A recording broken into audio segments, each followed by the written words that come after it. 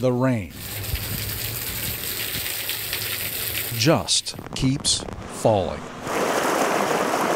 The atmospheric river battering Southern California is breaking trees and limbs and records. Downtown Los Angeles broke its daily rainfall record, one that's held since 1927. It recorded 4.1 inches of rain, beating the 2.55 inches that fell nearly a century ago. We did not expect this, so this is a new experience. Stephen Worth and his family moved here from Seattle last August. They're used to rain, but not this. He and his wife and 10 year old daughter are now stuck at home with no way to leave. A small river has formed across their only way out, and Kristen Wong's only way in.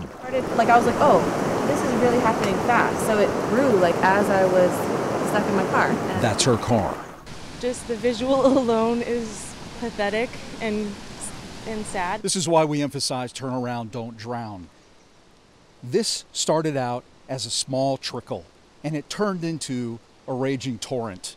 And the owners who live up this driveway certainly didn't expect this to happen to them. And they certainly weren't expecting this a 5 a.m. mudslide and debris flow that narrowly missed their home. Just heard like glass breaking, like the sound of, I mean, there was no mistaking what was going on, and just kind of like a rumble, like a like a mild earthquake. A newly remodeled guest house in the direct path of the failing hillside.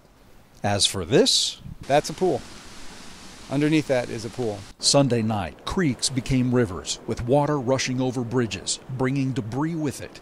It's the kind of scenario first responders trained to handle. Cal OES coordinated the strategic prepositioning of swift water rescue teams all over Southern California. If something happens, they want to be there. It's a tactic that paid dividends in lives saved during the Montecito mudslides. And it could again. When we pre-position like this, um, having uh, command and control, personnel on site uh, prior to an event happening, it's actually it, it's it's a game changer for us. It saves time when time can mean life or death.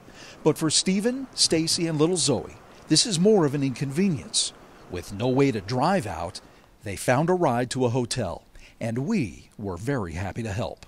For the latest information on this series of storms, follow us on all our social media channels.